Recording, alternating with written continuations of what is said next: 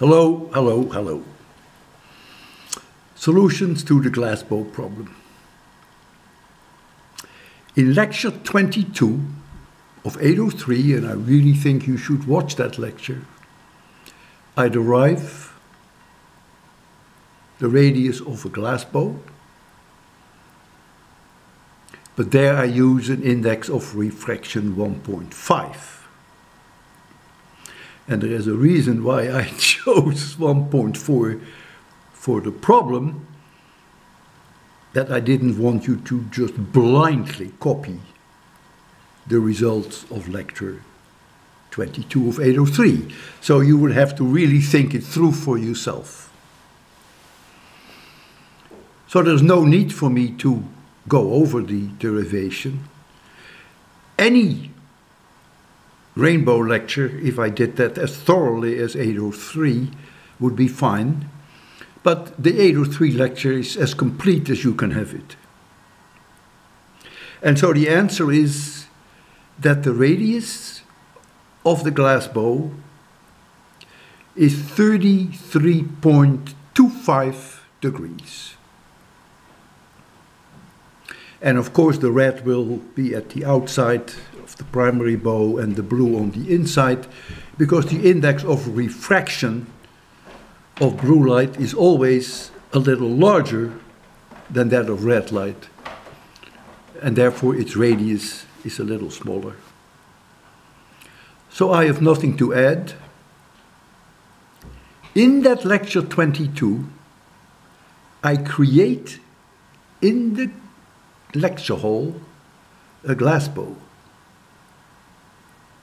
We use small glass beads, and all students in class were able to see this glass bow.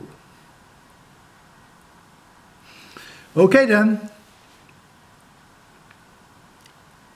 What is interesting is that I saw for the first time in my life a glass bow just by accident when I visited with my son a museum at Lincoln in Massachusetts. I saw it on the street. And at first I was puzzled how that could happen. I realized immediately that it had to be glass beads or maybe plastic beads, solid beads, because there couldn't be any rain with spherical drops on the on the road. So it had to be something like glass or plastic, spherical, transparent. And I then learned later then that's used for sanding. And so that explained it. That's all part of my lecture 22 of 803. So it's a long lecture. Feel free not to watch it. Feel free not to solve this problem. That's up to you. Whether you solve them or not, we'll still be friends. But since I teach physics, I'd like you to watch lecture 22 of 803.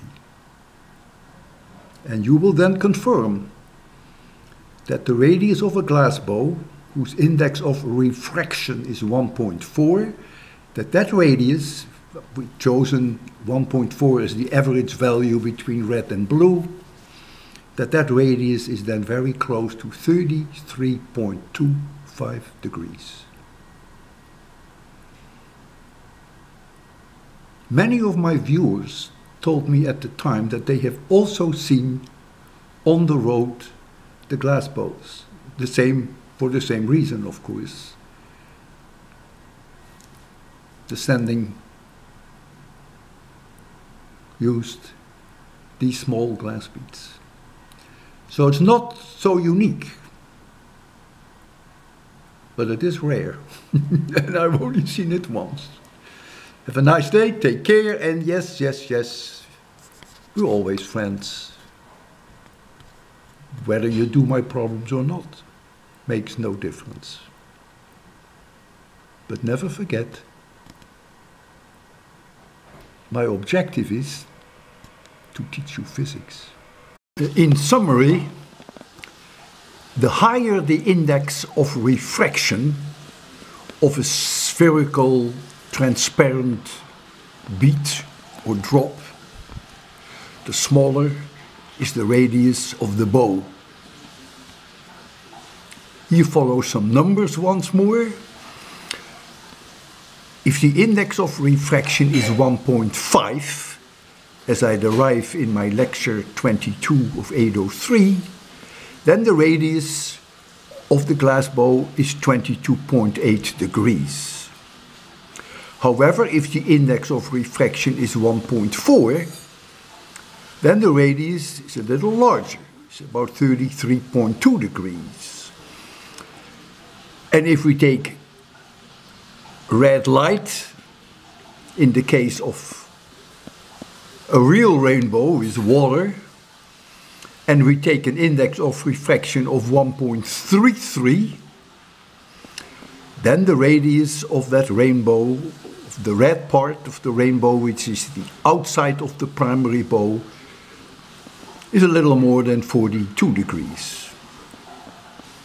Okay, so now you may get some feeling for the effect of the index of refraction.